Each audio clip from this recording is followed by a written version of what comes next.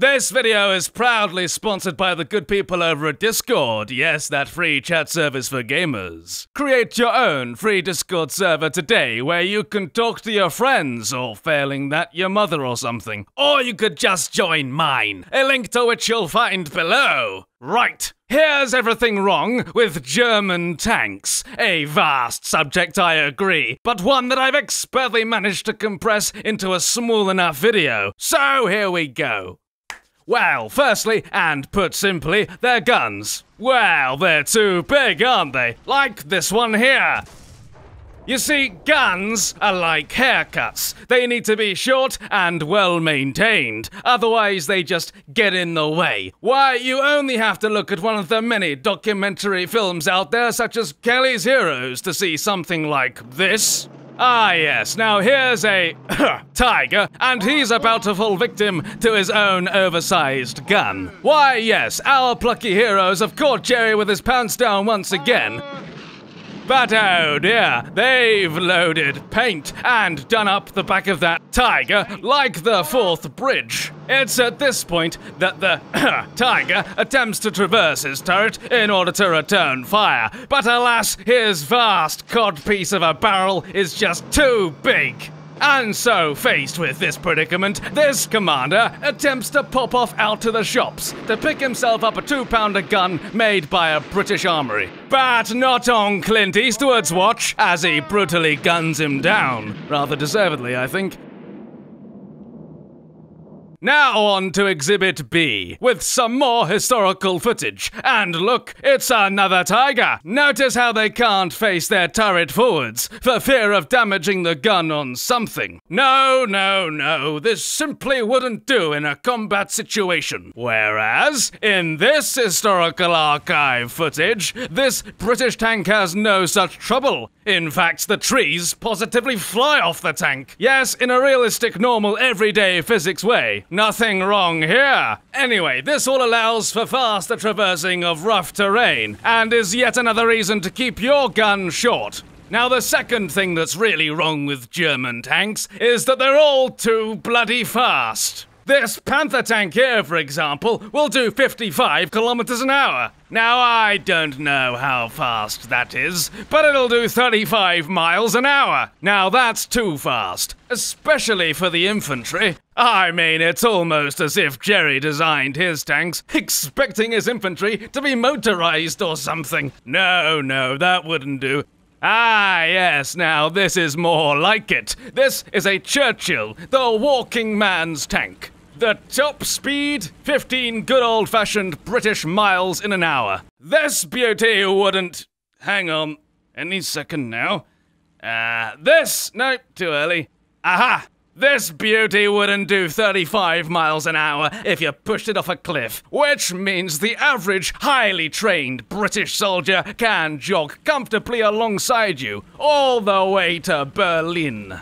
And before any Germans in the audience write in to complain that I'm not being fair, and that the Cromwell is just as fast as the Panther, I'll have you know that the Cromwell had its speed limited to 32 miles an hour, just in case it was too fast. And that wasn't just because at 40 miles an hour it was so uncomfortable the men inside couldn't take it. It was for a variety of other reasons, like sportsmanship and fair play. Yeah, that's good. You can't have a tank that fast. It wouldn't be fair, which is precisely my point. Now moving on to the third thing that's wrong with those jumped up tractors the Germans like to call their panzers, is that they're too big. Look at the size of that one! You wouldn't get that through a Belgian forest. Why, all you have to do is simply compare this giant German panzer to an equally capable British design to see there's a problem. Yes, these tanks all have enormous silhouettes, making them easily targetable by our more sleek and lower profile types. And that's if the RAF doesn't see them off first. Yes, badly designed tanks that are this big are even easier to spot in our aircraft.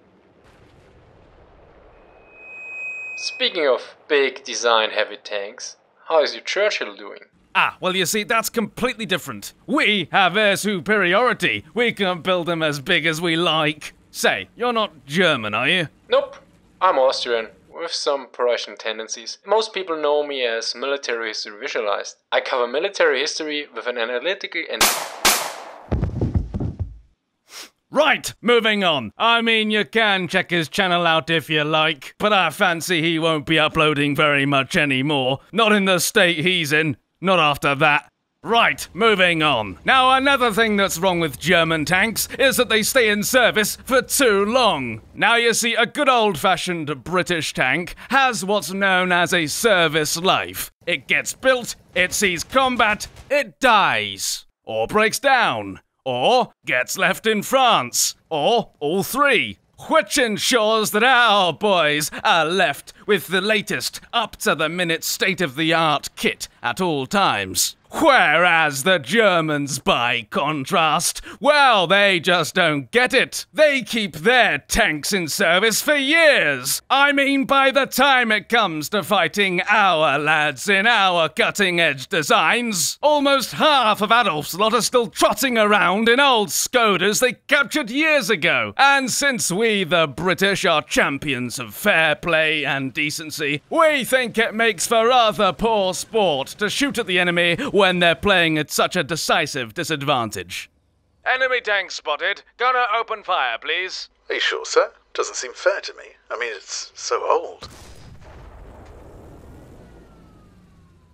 And finally, on to our last point. German tanks have very silly names, like the Neubaufahrzeug, or that design classic, the Sidkefutz 234 4. I mean, half of them are named after bloody animals, for heaven's sake. Tigers, panthers, elephants, it's just silly, really. Such names don't really strike fear into the hearts of their enemies, do they? Not like Valentine or the tortoise, which, granted, is technically an animal, but what an animal. They live for 150 years, you know. And what's this? Excuse me? The Dicker Max? Oh, well, now they're just taking the piss. What does Dicker Max even mean? I'll tell you what it means. It means nothing. Nothing at all to me, because I don't speak German. Because we won the bloody war, because we know how to name a tank. Well, we invented them, didn't we? And so there's everything wrong with German tanks. I would go on, but alas, I fear I'd only enrage myself further and shout more, and there's only so much my voice can probably take. And so on that note, I sincerely hope you enjoyed this video. If you did, please dispatch a like via carrier pigeon. The last video got 14 thousand of them. So it's a miracle you've got any left, really. And if you haven't, well, just go to London or something. You'll be swarmed by the bastards. Anyway, I'd also like to thank not just one, but all of the people out there who are supporting the channel over on Patreon today. Who, with the way that YouTube's been going lately, with its distaste for anything wary, have been magnificent. I tell you, try having 160-ish videos, all with the word war in the title. It's hilarious. Anyway, cheerio.